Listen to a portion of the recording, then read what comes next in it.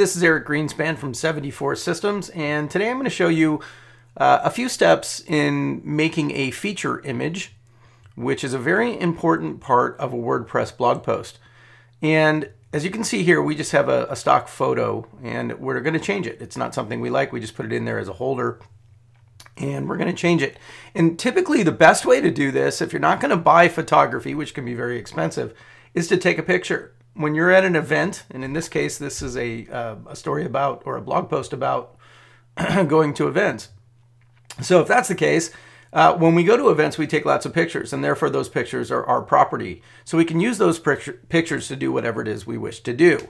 So I'm going to open up one of those pictures in Adobe Photoshop. Now, if you're not familiar with Photoshop, you can use other tools, but I would argue that it's probably a good idea to at least learn some basic skills in Photoshop to do this. So this is a picture of myself on the stage at Sage Summit, uh, where I actually uh, spoke back in 2015.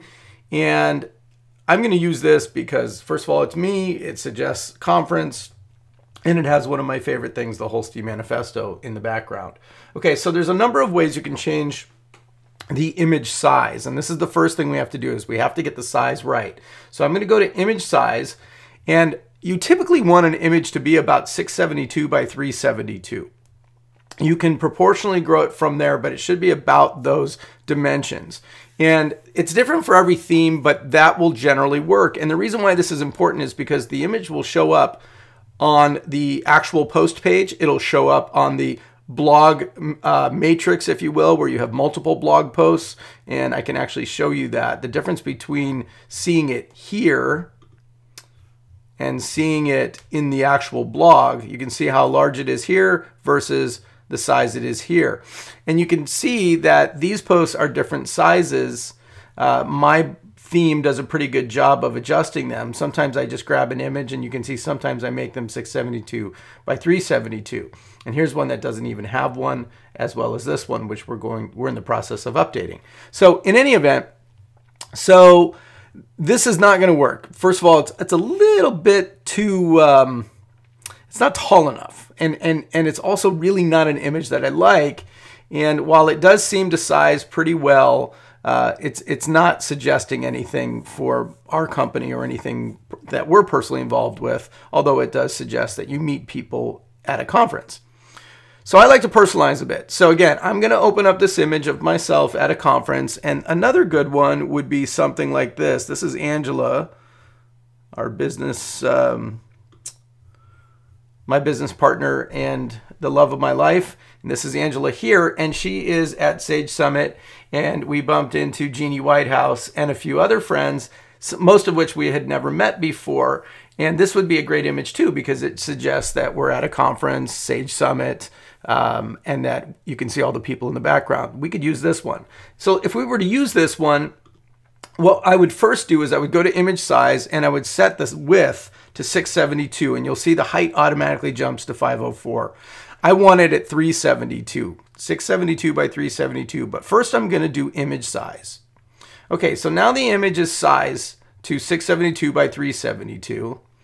And now I have to crop it. The difference between sizing and cropping is I'm literally going to cut part of it off. So if I went ahead and just cropped it right here by using canvas size in Photoshop, difference between image size and canvas size is watch what I do. When I put 372, it's going to leave the width, but it's going to literally cut in all directions the height, top and bottom. So I click OK, and that's pretty good. Now I could have also chosen to take it from the top or from the bottom, or use my selection tool and choose an area, which as I drag over top, you see height and width changes. So if I would have dragged it to the right height and width, you'll see this tool says 672 by 372. All right, so there it is, 672 by 372. So the next thing I can do if I want to is I can add a little text to this. So I'm going to put a, a quick text box and I'm going to type inside of that text box, um, meet new friends at conferences, set a goal for each event. Okay, so I'm going to go ahead and resize that so you can see it. And I'm going to put a hard return after this. And I'm going to make the spacing proper. And I'm going to set the distance between, I think they call that kerning, right? Uh, I need to keep going on the size. And I want to right justify this because that looks the best in something like this. And let's take it off of their face and put it down here.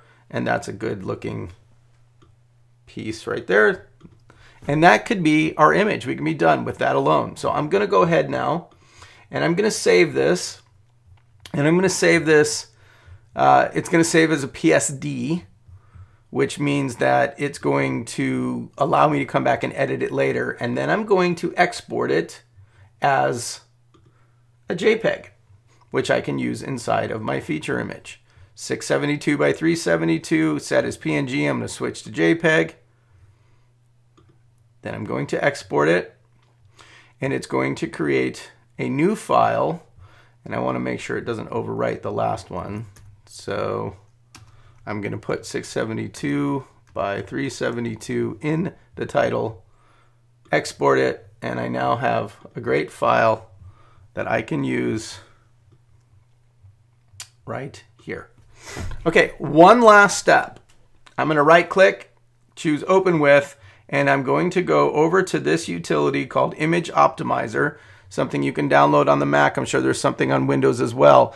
And what it does is it will make the image compressed to its best ability. It just reduced it almost 14%. Now that image is ready to be added to the feature image. And the feature image is here in WordPress. And I'm going to remove it and add a new one. And when I say set feature image, I'm going to go back to my Finder, grab the image that I just properly resized, cropped, and optimized.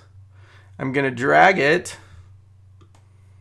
into my WordPress images. Wait for it to do its crunching. It's breaking it up into different sizes right now. I'm going to add my alt text, which is very similar to my title. And I can also put in a description that uh, an image of new friends taken at Sage Summit 2015 with Angela Rust representing, and at that time it was School of Bookkeeping, now a Studemy. Okay, so that's it. And I click Set Feature Image and you'll see it appear right here. I'm going to click update and then when I go and look at it again you will see the image. Now 672 by 372 is smaller than the image that's allowed in my theme. While it's an ideal size, you can see what it did. It's it's a bit pixelated. I don't mind so much about that. I'm okay with it. It'll look really good here. And more importantly, when I go to post this into social media, the image will look great with Facebook. Now, if I wanted to, I could have just increased it by 50% on both the horizontal or uh, on the um, the height and the width, and it would uh, have made an image that would have fit better for my particular theme. But I was showing you what most themes use, and it's a pretty darn good look. A little bit pixelated, so I'm probably going to change that um, for my purposes. Okay, so that's how you create a feature image uh, for most themes, not mine because it's a little more advanced. Uh, and and and the steps that you need to take. Do not forget that the image is important because you're going to share this in social media and the size and the dimensions matter because you want Facebook and Twitter and the rest to pick it up. But you also want to make sure that you don't make too large of an image. So the reason why 672 by 372 is better than the larger size is for that reason alone. As you can tell, while it may be a bit pixelated here, it's not using up as much bandwidth when I download the post. And that is an important piece of the puzzle. You don't want people coming to your site and leaving because it's too slow. And lastly, you want it to fit in social media. You want it to look good. By the way, if you do a lot of posts and make a lot of images, I strongly and highly recommend that you use a CDN. You can ask me about that at one of our webinars. We've got one coming up here in looks like three hours and 38 minutes. Check it out at astudemy.com forward slash webinars. I'm Eric Greenspan for 74 Systems, our other company, and I look forward to seeing you soon on one of our webinars or chatting with you. If you need help or want to learn more, schedule a free consultation right at the top at 74systems.com. Thanks so much.